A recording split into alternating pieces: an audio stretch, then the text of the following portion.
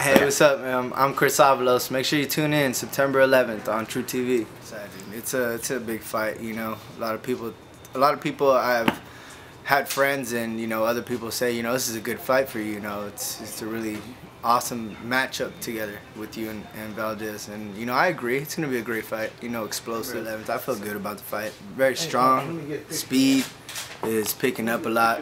A lot of speed and a lot of strength is is is really coming out in the training and you know I feel good. I feel ready for it.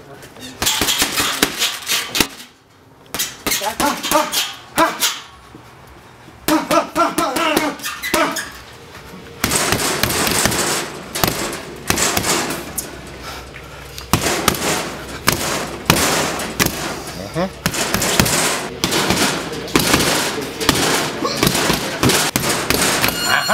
Hè, denk omdat we hier ook left. Ja.